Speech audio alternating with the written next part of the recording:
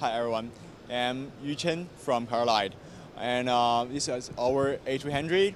It's our uh, player box, and uh, it can do the HDMI output and uh, input, and it can also carry the LCD and uh, LED screens, and uh, it can be controlled from the uh, USB by computer, can, but also can be controlled from the cloud. It's called ColorLight Cloud, and um, uh, you can set everything on the cloud, and um, you, you can also uh, switch to, to the synchronized mode and asynchronous mode.